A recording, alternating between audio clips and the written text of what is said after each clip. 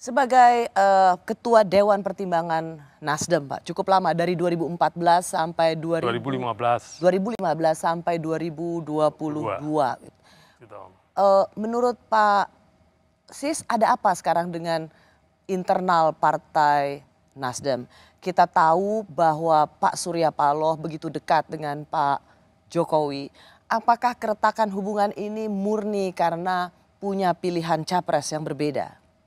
Oh iya, sejak pemilu presiden 2014-2019, saya kira Pak Surya Paloh ada ketua umum partai yang paling dekat dengan Jokowi.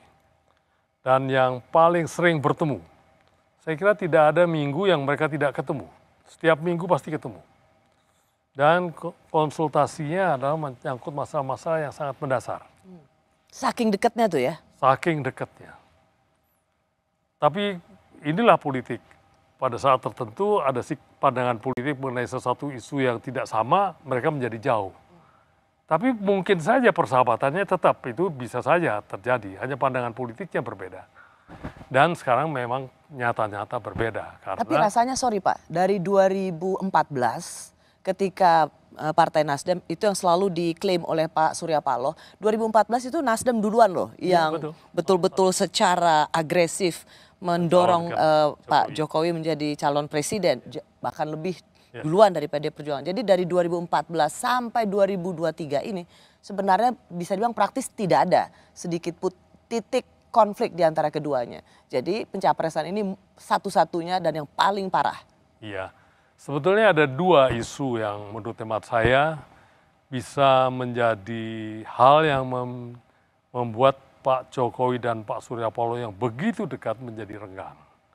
Isu pertama tentu karena Pak Surya ingin mencalonkan Pak Anies yang kita bisa membaca Pak Jokowi punya pilihan lain yang tidak sama.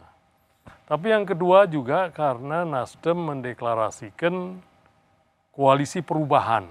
Hmm di mana Nasdem masih menjadi partai politik pendukung pemerintahan yang ada di dalam.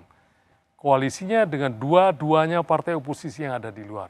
Jadi dua hal ini yang mungkin yang menjadi jarak. Sehingga pada pertemuan halal bihalal terakhir pun Pak Surya Paloh tidak ikut diundang karena akan membicarakan hal politik karena dianggap sudah mempunyai koalisi. Hmm.